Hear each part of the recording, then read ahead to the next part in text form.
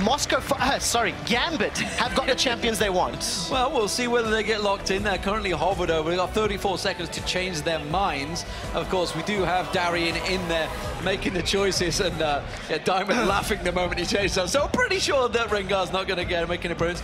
Also, I believe Rengar is globally banned. I, I assumed he was disabled. I think when we were testing on TR, I'm he was disabled. Sure. Unless somebody's not told Yes. me, I'm pretty sure he's So Rengar should be disabled. We'll get this confirmed, but it is going to be the Mundo and Shimano. This is what I'm expecting.